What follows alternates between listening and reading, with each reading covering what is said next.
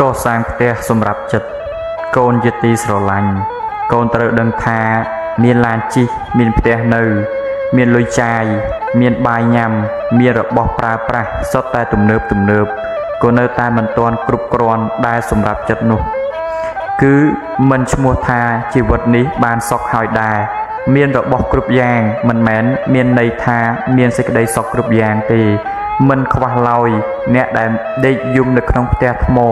យំនៅក្នុងឡានយំពេលញ៉ាំបាយយំពេលចាយលុយតើព្រោះហេតុអ្វី គឺព្រោះតែចិត្តនេះមិនមានសេចក្តីសុខចិត្តគ្មានទីជំរកសម្រាប់ជ្រកកូនធ្វើផ្ទះសម្រាប់តែរូបរាងកាយតែកូនភ្លេចធ្វើផ្ទះសម្រាប់ចិត្តផ្ទះក៏ត្រូវការអាហារញ៉ាំត្រូវការផ្ទះនៅដែរហេតុអ្វីបានជាកូនទុកចិត្តឲ្យនៅកណ្ដាលវាល ហាភ្លៀងហាផ្កយ៉ាងនេះ ចិត្តគោចេះក្តៅចេះរងាដែរណាកូនផ្ទះដែលជាទីជំរកដ៏កក់ក្ដៅរបស់ចិត្តគឺសិលសមាធិបញ្ញាសិលជាដំបូងផ្ទះរបស់ចិត្តសមាធិគឺជាតួផ្ទះរបស់ចិត្តហើយបញ្ញាជាគ្រឹះផ្ទះដ៏រឹងមាំសម្រាប់ចិត្តចិត្តបានកក់ក្ដៅព្រោះព្រោះតែមានផ្ទះស្នាក់អាស្រ័យសិលមានន័យថាចរិយាមារយាទល្អសេចក្តីល្អនិស័យល្អ អធិស្រ័យល្អកតិល្អលក្ខណៈល្អទម្លាប់ល្អសន្តាប់ធ្នាប់ល្អរបៀបរៀបរយល្អនិយាយរួមសិលមានន័យថាការវាចាក់អំពើអាក្រក់ងាកមកប្រព្រឹត្តអំពើល្អដោយកាយនិងវាចាសមាធិគឺមានន័យថាដំណើរដ៏រឹងមាំនៃចិត្តតាំងសុខឬស្លងចិត្តនៅក្នុងកន្លងអារម្មណ៍ដែលរំពៃរំពឹងនិងនឹកគិត បើនិយាយឲ្យស្រួលស្ដាប់បានន័យថាចិត្តដែលបានអប់រំល្អចិត្តដែលមានសេចក្តីស្ងប់ចិត្តដែលមានសតិស្មារតីនិងដែលមិនឆេវឆាវមិនរវើរវាយបញ្ញាគឺមានន័យថាការដឹងទូទៅឬក៏ចំណេះចេះដឹងដែលកើតឡើងអំពីការរៀនការស្ដាប់ការគិតនិងការសាកសួរបញ្ញាការដឹងច្បាស់អំពីសេចក្តីពិតគឺការដឹងអំពីហេតុដែលនាំឲ្យកើតទុក្ខ និងដឹងអំពីវិធីសាស្ត្រដើម្បីកម្ចាត់ទុក្ខនៅពេលដែលកូនកសាងផ្ទះឲ្យចិត្តបាន ចិត្តរបស់កូននឹងបានរស់នៅដោយភាពកក់ក្ដៅមានសេចក្តីសុខទោះជាមិនសម្បូរលុយចាយមិនមានឡានជិះមិនមានផ្ទះល្អនៅគួរចិត្តរបស់កូនសុខដែរគឺសុខព្រោះកូនចេះព្រមចេះល្មមនឹងអ្វីដែលខ្លួនមាន មានរបស់ជាកម្មសិទ្ធិច្រើនសេចក្តីហួងហែងក៏ច្រើន សេចក្តីហួងហែងច្រើនសេចក្តីទុក្ខក៏ច្រើន តែបើគ្មានអ្វីដែលត្រូវហួងហែងកូនគោមិនសូវមានសេចក្តីទុក្ខបើកូនមិនសូវមានសេចក្តីទុក្ខហើយនោះចិត្តនឹងសម្បូរដោយសេចក្តីសុខគឺសុខព្រោះមិនមានអ្វីខ្វល់ខ្វាយហួងហែងច្រើននោះឯងពេលមានថ្ងៃក្តៅត្រូវរកមលុបជ្រោកមានខ្យល់បក់បោករត់រកទីពឹងទោះមានភ្លៀងផ្គរនៅតែខំប្រឹង ស្វែងរកពំនឹងទីពឹងជីវិត ស្លឹកឈើទុំជ្រុះរុះរយរាយរត់ខ្យល់បក់រសាត់ខ្ចាត់ខ្ចាយឆ្ងាយចិត្តអត់ដែតត្រសែតគួរឲ្យអាណិតប្រៀបដូចជីវិតដែលឥតគោលដៅមានមាសមានប្រាក់កាក់កបការងារដែលចិត្តបាយជាក្រំគ្រាសោកសៅរស់ខ្វះក្តីសុខខ្វះភាពកក់ក្ដៅតែឯណាទៅជំរកដួងចិត្តគួររកទីពឹងលំនឹងអាត្មាកសាងបញ្ញាសិក្សា ការពិតចំណាយពេលខ្លះដើម្បីជីវិតអប់រំផ្លូវចិត្តនឹងបានស្ងប់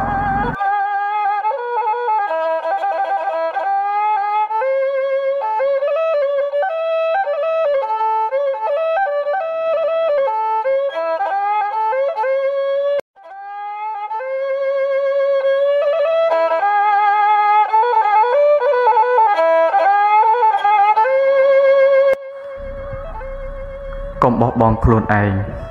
កូនអើយតើគួរទេដែលកូនត្រូវមកអង្គុយកើតទុកគួរដែរទេដែលកូនត្រូវមកធ្វើបាបខ្លួនឯងជីវិតរបស់កូនហេតុអ្វីបានជាត្រូវមកបញ្ចប់ត្រឹមនេះទៅហេតុអ្វីបានជាកូនមិនព្រមរស់នៅតទៅមុខទៀត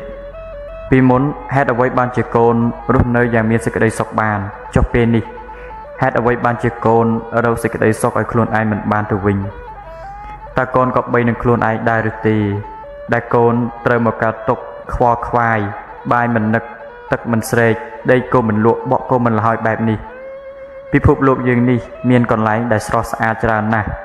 ហេតុអ្វីបានជាកូនត្រូវបិទភ្នែកមិនមិនព្រមបើកភ្នែកសម្លឹងមើលគួរណាស់តែកូនបើកបេះដូងឲ្យបានធំទូលាយកុំចង្អៀតចង្អល់ព្រោះតែបញ្ហាជីវិតបន្តិចបន្តួចរឿងដែលវាត្រូវកើត គឺវាត្រូវតែកើតព្រោះជីវិត គឺត្រូវតែមានគ្រប់រសជាតិបែបនេះឯងទើបហៅថាជីវិតមានន័យយើងមិនអាចទៅហាមឃាត់ព្រះអាទិត្យមិនឲ្យរះនិងលិចបាន ហើយក៏មិនអាចហាមឃាត់ផែនដីមិនឲ្យវិលបានដែររត់តែមិនអាចទៅទៀតបើយើងចង់ហាមឃាត់ការពិត ដែលវាត្រូវនឹងកើតនៅក្នុងជីវិតនេះ គឺវាមិនអាចទៅរួចឡើយអ្នកដតីគេស្អប់កូន គេបោះបង់កូន វាគឺជារឿងធម្មតាទេរឿងដែលគួរឲ្យសោកស្ដាយបំផុត នោះគឺកូនស្អប់ខ្លួនឯងបោះបង់ខ្លួនឯងចោលអ្នកដតីគេជប់ស្រឡាញ់កូនក៏ហើយទៅចោះសំខាន់កុំឲ្យតែកូនជប់ស្រឡាញ់ខ្លួនឯងធ្វើបាបខ្លួនឯងផ្ដោសម្ពាធឲ្យខ្លួនឯងគឺវាមិនគួរកប់បីនឹងខ្លួនឯងតតែសោះកូនត្រូវតែចងចាំថា អ្នកដតីឬញាតិមិត្ត និងសង្សាររបស់កូនគ្រាន់តែជាចំណែកមួយដ៏តូចនៃជីវិតរបស់កូនតែប៉ុណ្ណោះគេមិនអាចរស់នៅជាមួយនឹងកូនរហូតបាននោះទេឬក៏គេមិនអាចមកឈឺចាប់ឬស្លាប់ទៅជាមួយកូនដែរដូច្នេះបានន័យថាអ្នកទាំងអស់នោះ មិនមែនជាអវ័យអវ័យគ្រប់យ៉ាង ដែលជីវិតរបស់កូនអត់មិនបាននោះឡើយទោះបីជាគេស្អប់ឬគេស្រឡាញ់កូនក៏វាគឺជារឿងនៃចិត្តរបស់គេ ដែលកូនមិនអាចទៅបង្គាប់បញ្ជាចិត្តគេថាឲ្យគួរគួរតែស្រឡាញ់កូនតែម្យ៉ាងបានឡើយដូច្នេះកូនត្រូវតែស្រឡាញ់ខ្លួនឯងឲ្យបានច្រើន កូនកុំបោះបង់ខ្លួនឯងចោលពីព្រោះថាអ្នកដែលព្រមរស់នៅជាមួយកូនព្រមស្លាប់ទៅជាមួយកូនព្រមឈឺចាប់ការទុកជាមួយកូន គឺមានតែខ្លួនកូនតែប៉ុណ្ណោះចូលកូនរស់នៅជាមួយខ្លួនឯងឲ្យបានច្រើនជាងរស់នៅជាមួយអ្នកដតី ព្រោះអ្នកដតីមិនអាចរស់នៅជាមួយកូនបានរហូតនោះឡើយជីវិតកូនថ្លៃត្រូវតែរស់បន្ត កូនហើយម៉ែចង់ប្រាប់កូនថាជីវិតរបស់កូន គឺពិតជាមានតម្លៃណាស់សម្រាប់ម៉ែដូច្នេះមុននឹងកូនគិតចង់ធ្វើបាបខ្លួនឯងកូនត្រូវគិតដល់បេះដូងរបស់ម៉ែផងពីព្រោះថាកូនគឺជាបេះដូង និងជាថ្លើមប្រមាត់របស់ម៉ែបើកូនមានរឿងអ្វី កូនគិតទៅមើលថាជីវិតរបស់ម៉ែអាចរស់បាននៅសុខទេព្រោះកាលនៅកូនខូចចិត្តម៉ែក៏ខូចចិត្តកូនឈឺម៉ែក៏ឈឺមិនខុសពីកូនឡើយនៅពេលដែលកូនមានបញ្ហាអ្វីមួយនៅក្នុងជីវិតមនុស្សដែលកូនត្រូវគិតមុនគេគឺម៉ែកូនអាចនិយាយប្រាប់ម៉ែបាន ហើយម៉ែនឹងព្យាយាមជួយដោះស្រាយបញ្ហាឲ្យកូនកូនកុំលាក់ទុកនៅក្នុងចិត្តម្នាក់ឯងអី ម៉ែដឹងថាកូនខ្លាចម៉ែបារម្ភខ្លាចម៉ែគិតច្រើន និងខ្លាចម៉ែពិបាកចិត្តតែបើសិនជាកូនមិនប្រាប់ឲ្យម៉ែបានដឹងកូនលាក់ទុកសងំឈឺចិត្តតែម្នាក់ឯងរហូតដល់កូនធ្វើបាបខ្លួនឯងលែងចង់រស់តទៅទៀតបើកូនកើតអីជីវិតរបស់ម៉ែក៏ពិបាកនឹងរស់នៅដែរមនុស្សដែលកូនស្រឡាញ់គេក្បត់កូន គេមិនស្មោះជាមួយកូន គេឈប់ស្រឡាញ់កូន គេបោះបង់កូនចោល គេមិនឲ្យតម្លៃកូន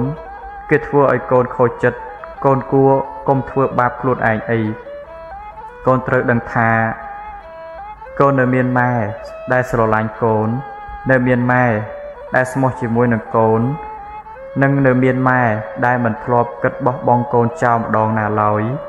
ម៉ែនៅខាងកូនជានិច្ចជីវិតរបស់កូនគឺមានតម្លៃណាស់ដូច្នេះកូនត្រូវតែរស់នៅតទៅមុខទៀតណាកូន កូនកំកើតទុកព្រោះតែគេមិនឲ្យតម្លៃកូន តែកូនត្រូវគិតថាតើកូនមានតម្លៃដែលគេត្រូវឲ្យដែរឬទេរៀនដោះលែងខ្លួនឯងកូនជាទីស្រឡាញ់រឿងរ៉ាវនៅក្នុងជីវិតនេះ គឺពិតជាស្មុគស្មាញណាស់មានបញ្ហាមិនចេះចប់រឿងមួយមិនទាន់ចប់សពគ្រប់ផងរឿងមួយទៀតក៏កើតឡើងជាបន្តបន្ទាប់ធ្វើឲ្យជីវិតនឿយហត់និងដោះស្រាយចិត្ត ក៏ចាប់ផ្ដើមខ្វល់ខ្វាយនឿយណាយធុញថប់គ្រប់រឿងរ៉ាវបង្កបង្កើត ទៅជាវិបត្តិផ្លូវចិត្តព្រោះតែរវល់ខ្វល់គិតពីបញ្ហាទាំងអស់នោះរហូតដល់ពេលខ្លះចងខ្លួនឯងឲ្យជាប់ជាមួយនឹងបញ្ហាស្រ័យមិនចេញឬខ្លួនមិនរួចវាហាក់បីដូចជាការដាក់គុកនិងធ្វើទារុណកម្មផ្លូវចិត្តខ្លួនឯងយ៉ាងធ្ងន់ធ្ងរអញ្ចឹងតាមការពិតទៅ រឿងរ៉ាវនៃបញ្ហាដែលកើតឡើង នៅក្នុងជីវិតបើកូនគិតទៅក្នុងផ្លូវវិជ្ជមាន វាជាបទពិសោធន៍ជីវិតមួយដ៏សំខាន់ ដែលធ្វើឲ្យជីវិតរបស់កូន មានសេចក្តីក្លាហាន និងប្រឈមមុខជាមួយនឹងវាហើយវាក៏ធ្វើឲ្យកូនរឹងមាំក្នុងការច្បាំងតតាំងជាមួយនឹងបញ្ហាទាំងអស់នោះផងដែរបញ្ហាកើតឡើងនៅក្នុងជីវិតកាន់តែច្រើនជីវិតរបស់កូនក៏កាន់តែរឹងមាំក្នុងការដោះស្រាយ កូនត្រូវតែរៀនដោះលែងខ្លួនឯងឲ្យមានសេរីភាពឲ្យចិត្តកូនបានស្រស់ស្រាយរីករាយជាមួយនឹងពិភពលោកខាងក្រៅខ្លះថាតើវាស្រស់ស្អាតយ៉ាងណាឈប់ចងខ្លួនឯងទុកនៅក្នុងភពងងឹតទៀតទៅរស់នៅដើម្បីស្វែងរកសេចក្តីសុខឲ្យខ្លួនឯងផងកុំរស់នៅប្រមូលតែបញ្ហាមកដាក់ក្នុងចិត្តនោះតើជីវិតនេះមានន័យយ៉ាងម៉េចទៅកើត បញ្ហាណាដោះស្រាយបានដោះស្រាយទៅរីឯបញ្ហាណាដោះស្រាយមិនបានក៏ទុកវាសិនទៅ ខ្វល់ច្រើនគិតច្រើន បង្កើនតែបញ្ហាថែមទៀតទេកូន សមុទ្រតែងមានរលកពពកតែងមានរសាត់តើទៅហាមឃាត់មិនដេចនឹងបាន វាប្រៀបដូចជាជីវិតដែលតែងតែមានបញ្ហា អ្នកណាដែលថាគេចផុតទោះបីជារត់ទៅដល់ទីណាក៏នៅតែមានបញ្ហាដូចនេះ ឈប់ចងខ្លួនឯងឲ្យជាប់